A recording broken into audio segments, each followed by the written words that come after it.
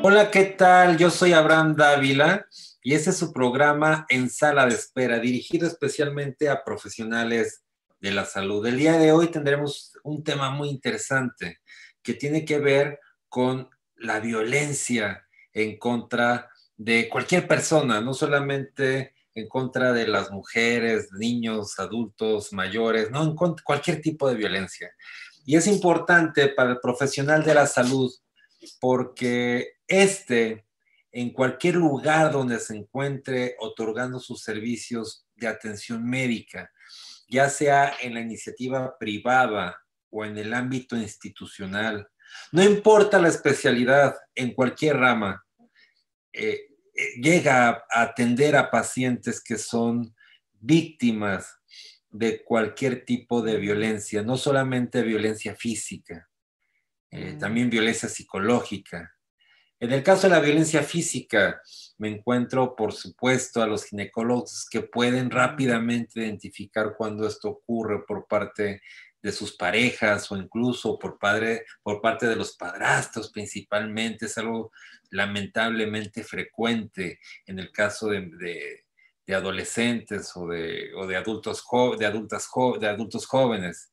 Eh, por supuesto, también los internistas, el médico de urgencias, eh, el geriatra cuando ve adultos mayores que son maltratados, el pediatra, no se diga estos síndromes cuando el papá, la mamá, el padrastro, la madrastra, quien los cuida, eh, son eh, agresores y, estas personas son víctimas de violencia de todo género, el psiquiatra, el psicólogo, todos, eh, cualquier profesional de la salud es propenso, el ortopedista, el traumatólogo. Eh, cuando llegan es que me golpeé, me caí, pues cuál se cayó, lo golpearon. E, es muy fácil que podamos identificar o al menos presumir cuando estos pacientes son víctimas de violencia. Al respecto, hay una norma oficial mexicana en México que es la norma 046, violencia familiar, sexual y contra las mujeres, criterios para prevención de atención, no solamente para las mujeres, para cualquier persona, en donde eh, eh, se establecen los criterios y mecanismos para que el médico pueda, al identificar un caso de una probable eh, agresión física o mental o violencia en contra de, uno de los pacientes, pueda realizar una notificación a la gente del Ministerio Público.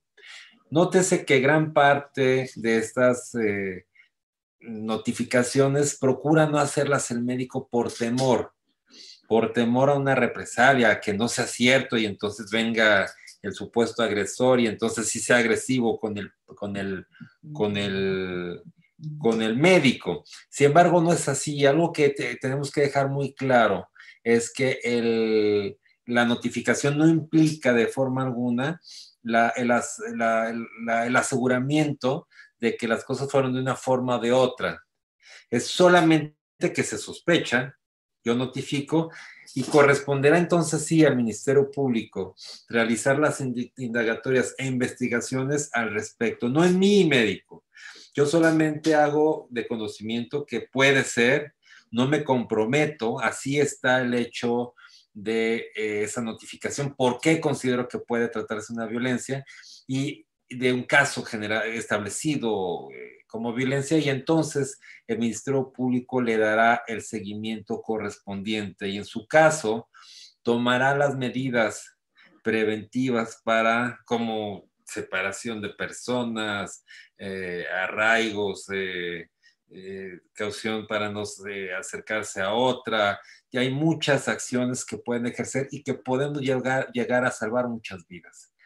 No obstante, alguien me comentaba, hoy en día ha sido también un arma quizá más mal utilizada por algunas personas que sabiendo este beneficio, en donde pues no tendrían que probar nada, eh, llegan a presentar denuncias en contra de, personas que no han sido eh, victimarias. Eh, hoy, este año, me encontré que al menos cuatro o cinco quejas en contra de, personas eh, y más de alguna no era, eh, no era real. Esto es, eh, era muy evidente o notorio que tenía un fin diferente.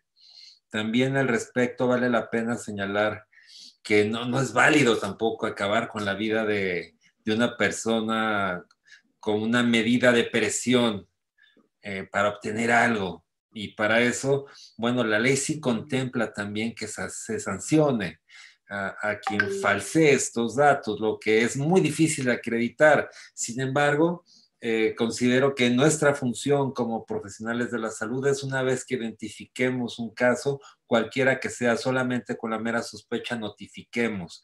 Hay un formato dentro de la norma oficial mexicana, ustedes la buscan en internet, teclean norma oficial mexicana 046, formato notificación Ministerio Público, es un formato oficial que ya está preelaborado, las cosas que tengo que enviar y es una eh, gran herramienta para que podamos evitar evitar muertes y grandes, eh, grandes desgracias, eh, como puede ocurrir con la muerte de, una persona derivada de violencia. Luego, entonces, yo los invito, profesionales de la salud, a, tener, a buscar esta información. Nosotros la estamos publicando en nuestro Instagram.